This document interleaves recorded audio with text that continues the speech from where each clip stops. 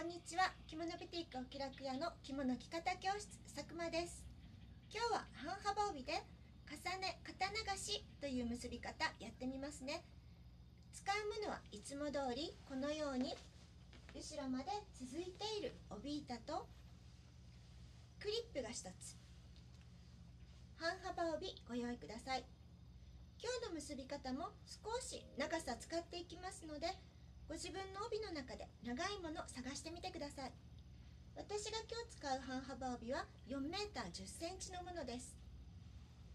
まず最初にクリップを帯板の真ん中に留め付けていきます。手先の長さを測っていきます。毎回ご説明しておりますけども手先の長さは1回だけで結構ですのでメジャーで55センチ 測ってみてください。これが基本の長さになります。55センチのとこを左手でこのようにつまみます。右手は手先つまんでください。右の腕をしっかり伸ばして55センチの位置がご自分のどこに来るかなっていうのを確認してください。1回だけ測ってもらいますと他の帯を使った時も基本取ってくださいねっていうとこの位置に合わせると大丈夫です。私の55センチはここになります。前に持ってきたら右手も離して左手の位置一緒に押さえましょう。今日の重ね肩流しはここから。一手と半足していきます。足したとこを真ん中のクリップで留めます。右側に短い手先が来ておりますので折り上げて右の肩に預けましょう。右手はお腹を押さえます。左手お袖が邪魔になりますので扱っておいて帯の上を持ちます。左手で帯を背中に持っていきます。このような状態ですね。右手回して帯をもらったらもうご自分は回ることだけを考えてください。自然に帯が体に巻きついてくれます。左手は左脇で帯の上。右手は折り上げた手先の外側。掴んだらじわーっと引き締めです。だんだん力が弱くなって引き締めができないの。って言われる方多いですけどもこの方法ですと軽い力で引き締めることができます。右手はまた緩まないようにお腹を押さえておきます。左手お袖を扱って帯の上。先ほどと同様に左手が背中右手が迎えに行ったら回るだけです。2周目もこのように巻きついてくれます。2回目の引き締めは右手はタレの下を持ってこのように手にかぶせてください。左手は帯の下をたどって背中に行きましょう。帯は2周巻いておりますので内側の1枚ここ2枚あります。内側の1枚をつまんでください。右手脇に開いて横にじわーっと引き締め最後12と小さく揺すってください。これもそんなに力を入れなくっても引き締めることができます。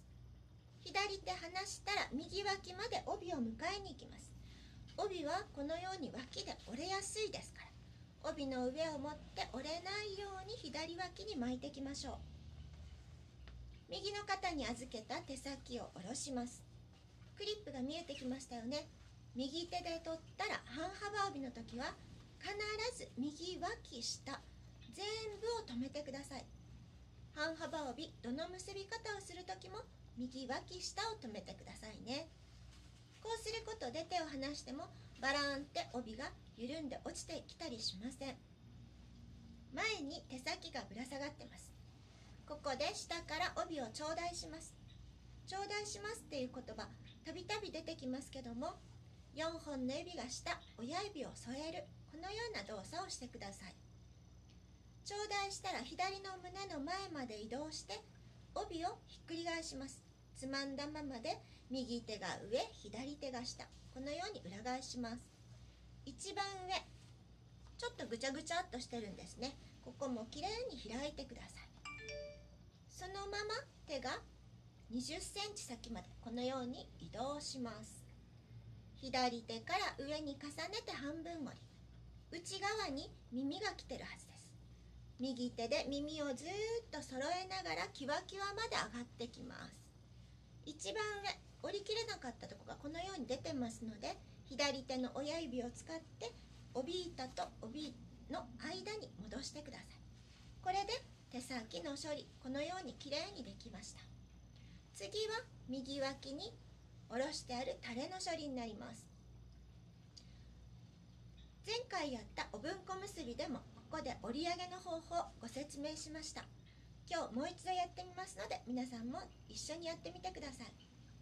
右手で帯の上を掴んだら体の中心まで来ます。鼻から降りたとこ体の中心ですね。ここを右手でつまんで開きます。その下を左手でつまんで折り上げます。折り下げないでくださいね。左手が上がってきます。帯の内側を見たらこのように斜めのラインができてます。このラインを利用してもう一度折り上げてください。体の中心で折り上げの一番高い位置が来るような状態です。脇にたるみが全然ない状態になります。もう一度やってみますね。右手で帯の上を掴んで体の中心まで来ます。鼻から下がったとこです。開いたらその下を左手。左手が右手の位置に折り上がってきます。折り上げです。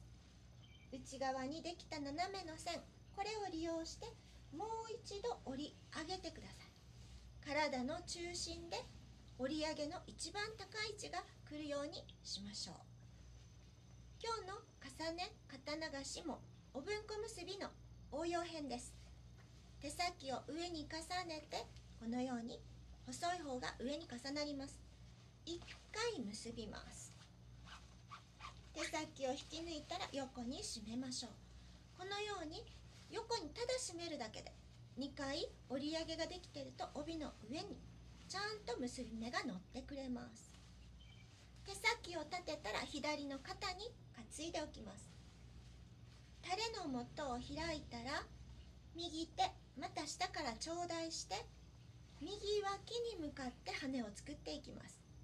羽の大きさはご自分の脇ぐらいがちょうどいいと思います。帯の長さによってここは少し調整をされてください。硬い帯の時はここでちゃんとおひだを取っていきましょう。真ん中に山。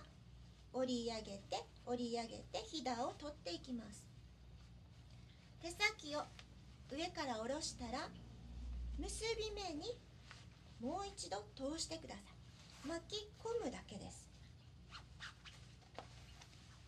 これで1枚羽ができました。くるんと巻くだけですね。また肩に預けましょう。残ってるタレもう一度右手下から頂戴して右脇に向いて羽を作っていきます。ひだを取ったら手先を上から下ろして帯の長さによっては全部引き抜いても大丈夫です。引き抜いてみますね。手先を全部引き抜いて羽をぐっと締めます。右側のお羽も2枚できます。左側に行ったタレここも2枚できます。要がこのように2段に重なっています重ね肩流しのこれが特徴になります鏡を見ながら形をきれいに作ってみてください右脇のクリップを必ず取ってから帯は回していきます右のお袖をちゃんと上げておきましょうこのままだとお羽ぐちゃぐちゃになってしまいますので右のお袖も上げて左脇に手を持っていきます。右手も左手も左脇帯の上を掴んでみてください。これで回していきますけども回す時に軽く上に持ち上げると空気が入って回しやすくなります。後ろに回したら手をちょっと添えてみて要が背中にちゃんと来てるかなっていうのを確認してみてください。この結び方後ろのお羽が少し歩くたびに揺れます。今から羽織とか脱がれて暖かくなった時にも楽しい帯結びです。踊りのお稽古とかお出かけとか楽しい結び方いっぱいしてお出かけしてみてください。また次週お楽しみください。お気楽屋の着物着方教室でした。